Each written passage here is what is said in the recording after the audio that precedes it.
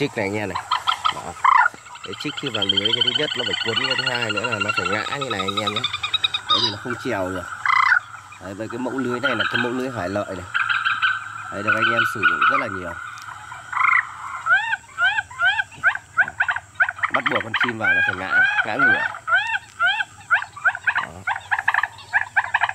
cái này thì à, à, hiện tại bên cơ sở em à, vừa kéo được rất là nhiều giá cả thì hợp lý. Đấy, vào nó phải cuốn cánh cuốn ngực cuốn cổ. Chim không thể ra được anh em.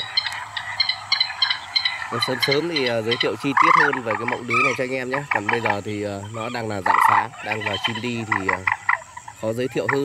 Lát giới thiệu chi tiết cho anh em. Ờ, dạ vâng, lời nói đầu tiên thì cho em gửi lời chào, lời kính chúc sức khỏe toàn thể các anh em cô liềm đam mê yêu thích đánh chim đêm trên toàn cả nước. Ở trong cái nội dung của video ngày hôm nay thì cơ sở bên em lại xin giới thiệu chi tiết tới anh em là về hai cái dòng lưới, đó là dòng lưới 7 phân và dòng lưới 8 phân. Đấy, trước khi đi vào giới thiệu chi tiết về từng cái mẫu lưới này thì em cũng xin giới thiệu qua cách mua bán. Đối với anh em nào mà có nhu cầu mua và đặt hàng ấy, thì anh em liên hệ trực tiếp cho em qua số điện thoại em để góc màn hình video. Để anh em điện đến thì bên cơ sở là sẽ lên đơn hàng gửi hàng cho anh em. Còn thời điểm này hai cái mẫu lưới này là được anh em thợ đánh chim đêm sử dụng nhiều nhất bởi vì cái thời gian này là con trích, con sâm, con tu hú, con quốc ta đang di cư rất là mạnh thì anh em đang sử dụng ở trên dòng lưới này. Đấy đầu tiên thì đi chi tiết về cái dòng lưới 7 phân để cho anh em cùng nắm bắt được này. Về dòng lưới 7 phân này sợi của nó là sợi 20 nhé, sợi 20 và chiều cao mắt lưới của nó là 120 mặt. Đấy, dòng này thì anh em đánh trích, đánh gà, đánh tu hú, à, đánh à, con rẽ hú nói chung là đánh được nhiều loại bởi vì dòng 7 phân này thì à, nó là cái dòng lưới à, cơ bản là đánh tổng hợp để đánh bắt cò hương cò hiếp này anh em sử dụng dòng này. Còn à, về cái lưới này thì chiều cao 20 mặt thì tính từ mặt dưới cùng cho tới là mặt trên cùng. Và cái thứ hai nữa là lưới này thì em sẽ làm cho anh em là 5 diềm 4 túi. Đấy thì các bác biết rồi đấy những cái mẫu lưới ví dụ 100 mặt thì à, các cơ sở khác thì người ta vẫn làm 5 diềm 4 túi nhưng nó không nhiều thịt bằng cái lưới 120 mặt này. Ờ, à, 100 mét như thế này thì em sẽ chạy cho anh em là 5 cọc này. 5 cọc nhé và 50 mét là 3 cọc. Thì đây là tay ờ, uh, 50 mét này. Đấy, lưới thì uh, từ cái mắt lưới để bảo hành cho anh em là không có độ chạy mặt này. Đó, không có độ chạy mặt. Và cái thứ hai nữa là sợi lưới rất là dai để anh em có thể là búng căng. Đấy một là búng căng quá thì nó đứt sợi.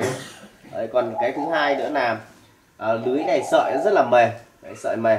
Đấy, bình thường ví dụ như thời tiết hanh khô như thế này mà sờ vào sợi lưới nó rất là mềm như thế này thì uh, khi mà anh em đánh vào điều kiện thời tiết trời thì uh, về đêm sương nó xuống thì uh, nó tăng thêm cái độ bám chim nhé. Và đây là cái lưới hải lợi thì nó có hai viền. Đấy viền trên và viền dưới thì nó chạy xe đôi nha anh em nhé. Đấy viền cứ biên đôi ấy. đấy còn uh, về lưới 8 phân ở khu vực bên đây. 8 phân thì uh, nhiều khi là anh em sử dụng đánh uh, sâm đánh sâm đánh trích được đánh trích thì ví dụ tỷ lệ à, 10 con thường thường là nó sẽ bị mất một hoặc là 20 con mất một.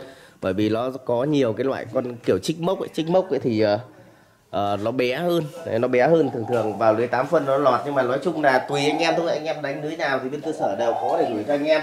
Đây lưới 8 phân đây. Lưới 8 phân này thì uh, về sợi lưới của nó vẫn là sợi 20 và mắt lưới của nó là mắt 8 thì anh em đánh gà trên cái mẫu lưới này thì quá là ok luôn anh em. Đấy, búng không chạy mạch Đó. và sợi rất là mạch sợi mạch dẻo sợi. Quan trọng là dẻo sợi. Với 8 phân này thường thường thì đánh trích thì rất là sướng. Cái là khi con chim vào thì thường thường nó sẽ khóa con chim nó sẽ ngã ngửa.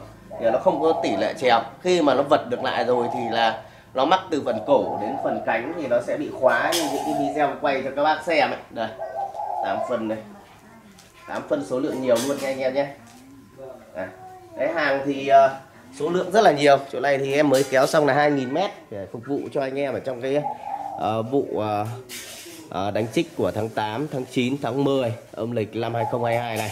Đấy, thời gian đánh trích thì còn một tháng nữa ngoài miền Bắc thì anh em nào mà đang có nhu cầu mua lưới mới hoặc là thay thế lưới những cái tay lưới bị rơi cắn hoặc là bị cũ ở châu bò nó phá thì anh em có thể là tham khảo liên hệ cho bên cơ sở em bây giờ thì uh, xin chào nhé. Hẹn gặp lại anh em những video lần sau.